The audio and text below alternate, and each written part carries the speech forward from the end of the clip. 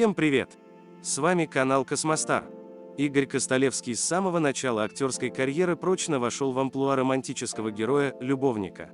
Обладая благородной внешностью, высокий и элегантный, с бархатным голосом, кудрявый, с аристократическими манерами, он покорил миллионы россиян. Но мало кто знает, какая драма случилась в личной жизни артиста. Игорь Костолевский родился 10 сентября 1948 года в Москве в весьма состоятельной семье.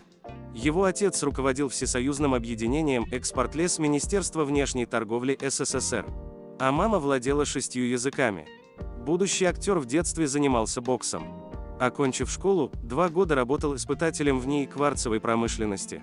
Затем в 1966 году поступил в Московский инженерно-строительный институт. На третьем курсе ушел из института и после неудачной попытки сдать экзамены в школу, в студию МХАТ поступил в ГИТИС. Игорь Костолевский начал сниматься в 1970 году, дебютировав в картине «Семья как семья». Два года спустя сыграл в фильме Станислава Ростоцкого «А зори здесь тихие». Особенностью этой роли было почти полное отсутствие текста у персонажа Костолевского и обилие немых сцен с крупными планами, где огромное значение имели глаза. Настоящую популярность в кино принесла Костолевскому его первая главная роль декабриста Ивана Аненкова в фильме «Звезда пленительного счастья» в 1975 году. Оглушительный успех последовал после выхода на экраны мелодрамы «Безымянная звезда» в 1979 году.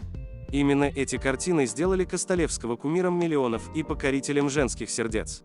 Новую волну популярности актеру принесла роль советского разведчика Андрея Бородина в остросюжетном политическом детективе «Тегеран-43» в 1980 году. А песня «Вечная любовь» в исполнении Шарля Азнавура стала всемирным хитом и прочно ассоциируется с образом героя Костолевского.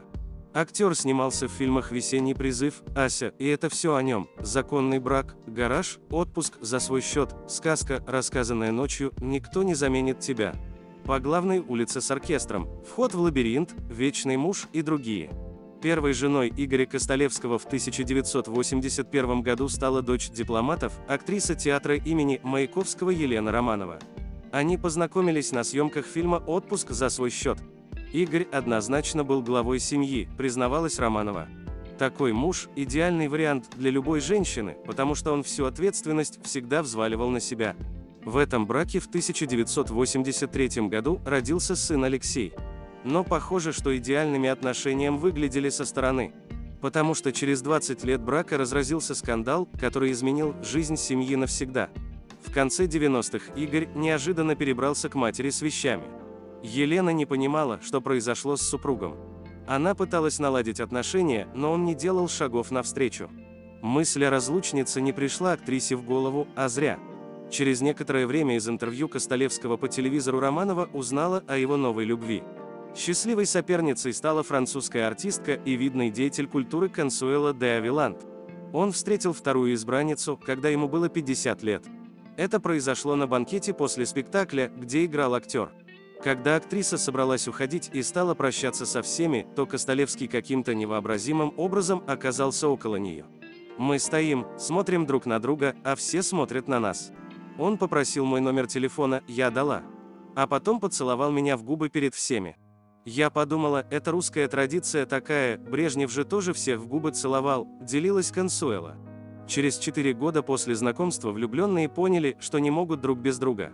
Костолевский сказал, что не уедет во Францию. Актриса приняла православие с именем Евдокии и теперь просит называть себя Дуся Костолевская. Ради новой любви Игорю пришлось принести в жертву бывшую жену и сына. У Елены началась тяжелая депрессия, а Алексею оставалось только наблюдать за страданиями мамы. Романова не была востребованной актрисой, поэтому не могла найти утешения в работе. Она стала объектом сплетен и злорадства, а большинство знакомых из актерского круга продолжали дружбу с Костолевским и его новой спутницей. Актриса осталась в одиночестве, так и не простив мужа.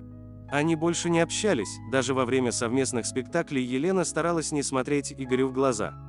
Алексей, которому на момент развода родителей было 17 лет, стал в знак протеста игнорировать отца. Потом отношения восстановились, но с парнем начали твориться странные вещи, и он подался в религию. Костолевский, младший, начал записывать проповеди. Алексей считает, что в какой-то момент к нему даже явился Господь. В 2019 году Костолевский заявил, что у его Леши проблемы с психикой. Актер признался, что его сын лечился в психиатрической клинике. К сожалению, я ничего не могу поделать. У него произошел сдвиг. Он лежал в психиатрической клинике, состоит на учете в ПНД. Но мать не дает его лечить. Она, к сожалению, сама нездоровый человек и считает, что все у них хорошо. Иногда вижу сына, но не могу ничего сделать. Ну, больной человек, понимаете? Не пытайте меня, как так получилось. К сожалению, это наследственное. Я эту историю переживаю много лет. И поверьте, все, что от меня зависело, я сделал. Но я понимаю, что все это бессмысленно. В диспансере говорят, он приходит, мы его принимаем, но от лекарства он отказывается, а мы бессильны, говорил Костолевский «Экспресс» газете. Костолевский остается востребованным актером, живет с французской Дусей и называет себя счастливым человеком. Алексей, которому исполнилось 39 лет, периодически лежит в психиатрических больницах, состоит на учете, нигде не работает. Елена давно не дает интервью и более 15 лет не появляется в театре. Они с сыном живут на деньги от сдачи одной из квартир, на ее небольшую пенсию и выплаты в театре. Говорят, что именно Игорь когда-то попросил руководство, чтобы бывшую жену не увольняли и оставили ей зарплату.